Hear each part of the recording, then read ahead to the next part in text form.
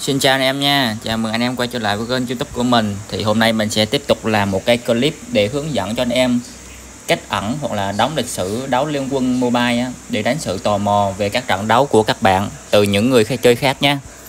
Thì cái này thì nó cũng ờ, có lâu rồi nhưng mà hôm nay có nhiều anh em hỏi mình cho nên là mình ờ, sẽ làm hướng dẫn cho anh em. Thì anh em cũng biết rồi liên quân mobile thì uh, đó là một tựa game được rất nhiều bạn trẻ yêu thích trên iphone rồi cũng như là trên android. À, với thiết kế nhân vật thật là đẹp mắt cũng như mà lối chơi chiến thuật sáng tạo đã giúp lên ờ, đã giúp cho liêu Quân ờ, có một cái ờ, sự phát triển đến thời điểm hiện tại là vẫn còn đang rất hot. Thì trong cái video này mình sẽ hướng dẫn cho các các bạn cách ẩn lịch sử đấu liêu Quân đó, nếu như mà các bạn muốn ờ, không cho người khác biết này về kết quả trận đấu cũng như các tướng tủ của mình đã từng xem, đã từng chơi, thì ờ, đầu tiên các bạn là phải ờ, vào game Liên Quân nha. Ở đây mình đăng nhập bằng bằng Facebook nha. Mình sẽ đăng nhập bằng bằng Facebook. Các bạn nào chơi bằng nick Grana thì các bạn đã nhập vào Grana thôi. Nói chung là các bạn đã nhập vào nick tài khoản liên quân của mình.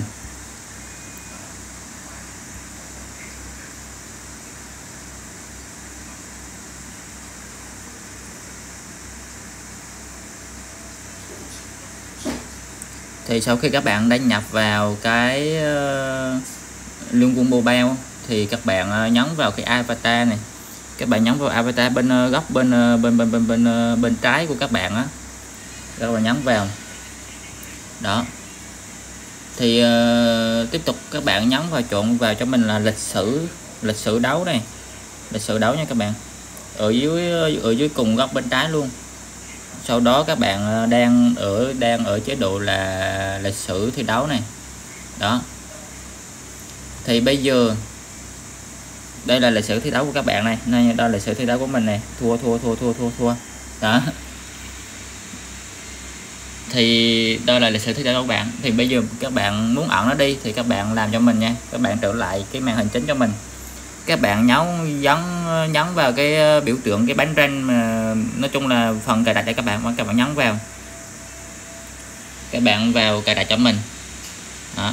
cái biểu tượng bánh này thì chắc là các bạn, ai cũng biết rồi thì ờ, ở vào cái phần, nó có phần ẩn này các bạn không? chung này bạn ờ, để ý từ trên xuống dưới là chung này điều khiển này thiết lập giao diện này thiết lập này có phần ẩn này các bạn nhấn vào ẩn cho mình đó, thì ở đây có cái phần là các bạn kéo các bạn kéo xuống này cái kéo kéo kéo kéo kéo kéo kéo xuống kéo xuống kéo xuống.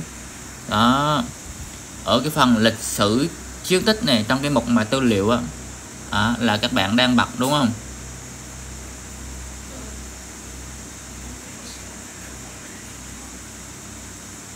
Đó là các bạn đang bật đó là sự chứng tích đó thì các bạn à, bật lên cho mình. Đó đây các bạn bật. Bật ẩn lịch sử chứng tích cho mình nha. Đó. là là là là là được nha anh em. Còn mà các bạn không muốn ẩn thì các bạn sẽ tách nó đi. Đó.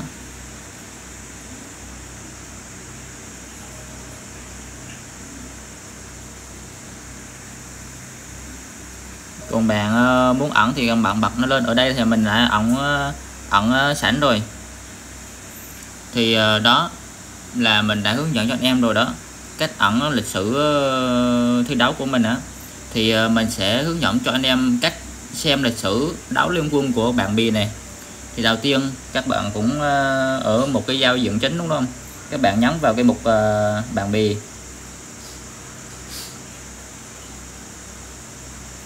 sau đó các bạn à, chọn một à, người bạn mà bạn muốn lên xem lịch sử thi đấu này. Bạn nhấn xuống phần bàn bia này đúng không? Bạn à, nhấn vào lịch sử thi đấu bạn muốn xem ai thì bạn nhấn vào người đó.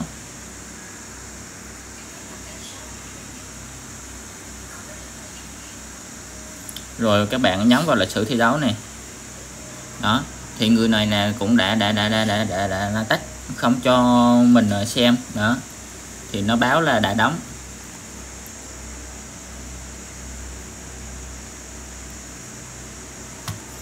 Còn nếu như mà bạn nào mà không cho người khác xem thì các bạn sẽ xem được nha.